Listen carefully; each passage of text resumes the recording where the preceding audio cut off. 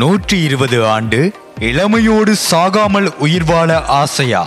சாகா வரத்துக்கான விடையை கண்டுபிடித்த விஞ்ஞானிகள் மனிதர்களின் நீண்ட நாள் கனவு நிறைவேறாத மிகப்பெரிய ஆசை என்று பல நூறு ஆண்டுகளாக மனிதன் தேடி ஆராய்ந்து திரிந்த நிறைவேறாத ஆசைக்கான கதவு தற்பொழுது திறந்துள்ளது. இளமையோடு சாகாமல் இருப்பதற்கான வரத்தை தேடி மனித இனம் பல ஆண்டுகளாக ஆராய்ச்சி செய்து வருகிறது. இந்த ஆராய்ச்சிக்கான விடையாய் தற்பொழுது ஸ்ட்ரேலில் உள்ள விஞ்ஞானிகள் சாகா வரத்திற்கான முதல் படியை எட்டியுள்ளனர். இந்த முதல் படியே மனிதனை நூற்றி இருபது ஆண்டுகள் வரை உயிர் வாழ வைக்கும் சாத்தியத்தை கொண்டுள்ளது.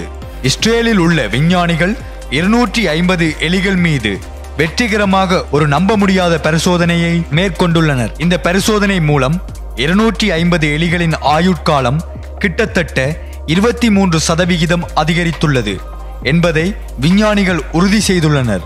இந்த அசாதாரண சோதனையின் மூலம் மனிதர்களின் ஆயுட்காலத்தையும் இளமையையும் அதிகரிக்க முடியும் என்று விஞ்ஞானிகள் பெரிதும் நம்புகின்றனர். விஞ்ஞானிகள் இந்த நம்ப முடியாத சாகாவரத்திற்கான முதல் படியை எப்படி அடைந்தார்கள் என்று தெரியுமா?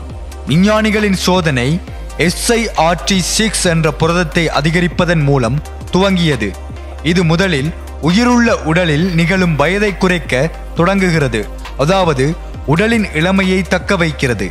இந்த கண்டுபிடிப்புகள் எஸ்ஐஆர்டி சிக்ஸ் மூலம் வயதான காலத்தில் ஏற்படும் கோமியோஸ்டாசிஸை பலவீனப்படுத்துவதை தாமதப்படுத்துகிறது. அதேபோல் வயதான காலத்தில் ஏற்படும் உடல் பலவீனம் மற்றும் இளமையை பாதுகாப்பதற்கும் மேம்படுத்துவதற்கும் இது பெரிதும் உதவுகிறது என்பதை ஆராய்ச்சியின் முடிவுகள் நிரூபித்துள்ளது. நேச்சர் கம்யூனிகேஷன் இதழில் எஸ்ஐஆர்டி சிக்ஸால் ஆற்றல் கோமியோஸ்டாசிஸை மீட்டெடுப்பது ஆரோக்கியமான ஆயுட்காலத்தை நீட்டிக்கிறது.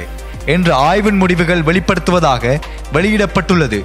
அதிகரித்த எஸ்ஐஆர்டி சிக்ஸ் புரதம் இந்த விஷயத்தில் எலிகளின் ஆயுட்காலத்தை அதிகரித்தது மட்டுமல்லாமல் சாதாரண எலிகளுடன் ஒப்பிடும்போது இந்த எலிகள் அதிக இளமையோடும் புற்றுநோயால் தாக்குதலுக்கான வாய்ப்பு மிகவும் குறைவாக தோற்றமளித்துள்ளது என்பதை விஞ்ஞானிகள் கண்டறிந்துள்ளனர். ஆய்வுக்குழுவிற்கு தலைமை தாங்கிய பார் இலன் பல்கலைக்கழகத்தின் பேராசிரியர் கைம் கோகன் கூறுகையில் பரிசோதனையை தொடர்ந்த எலிகளின் ஆயுட்காலம் மாற்றம் மிகவும் குறிப்பிடத்தக்கதாக இருக்கிறது.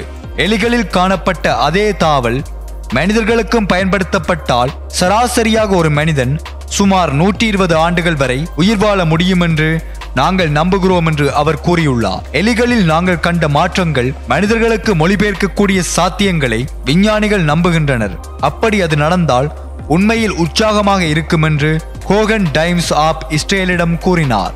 அமெரிக்க தேசிய சுகாதார நிறுவனங்களைச் சேர்ந்த பேராசிரியர் ரபேல் டி கபோ உள்ளிட்ட சர்வதேச விஞ்ஞானிகளுக்கு இடையிலான ஒத்துழைப்பு இந்த நேரத்தில் எலிகளின் ஆயுட்காலம் அதிகரிப்பது எந்தவொரு குறிப்பிட்ட பாலினத்துடனும் மட்டுப்படுத்தப்படவில்லை என்பதை காட்டுகிறது.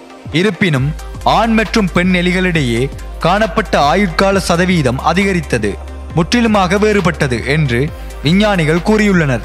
எஸ்ஐஆர்டி சிக்ஸ் புரதம் அதிகரித்த ஆண் எலிகள் கிட்டத்தட்ட முப்பது சதவீதம் அதிகமாக வாழ்ந்தாலும் ஆராய்ச்சியின் ஒரு பகுதியாக இல்லாத எலிகளை விட பெண் எலிகள் கிட்டத்தட்ட பதினைந்து சதவிகிதம் அதிகமான நாட்கள் உயிர் வாழ முடியும் என்பதை ஆராய்ச்சியின் முடிவுகள் காட்டியுள்ளது என்று விஞ்ஞானிகள் கூறியுள்ளனர்.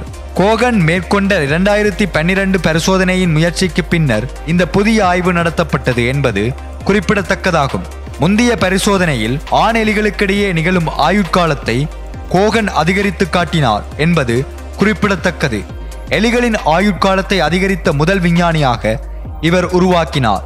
இருப்பினும் அந்த சோதனையில் பெண்ணெலிகளின் ஆயுட்காலம் மீது எந்த தாக்கத்தையும் ஆராய்ச்சி ஏற்படுத்தவில்லை என்பது குறிப்பிடத்தக்கதாகும். கோகனின் ஆய்வகம் இப்போது மனிதர்களிடமும் இதே போன்ற பரிசோதனையை மேற்கொள்ள புதுமையான முறைகளை தேடுகிறது என்று தெரிவிக்கப்பட்டுள்ளது.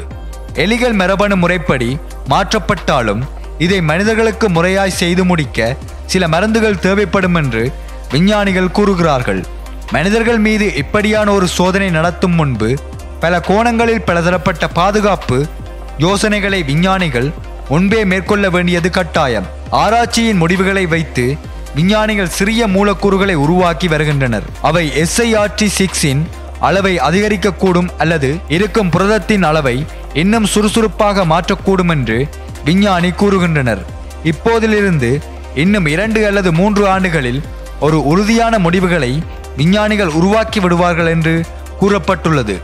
சாகாபரத்திற்கான முதல் படியே மனிதனை நூற்றி இருபது ஆண்டுகள் வாழ அனுமதிக்கும் என்பது உண்மையில் ஆச்சரியம்தான்.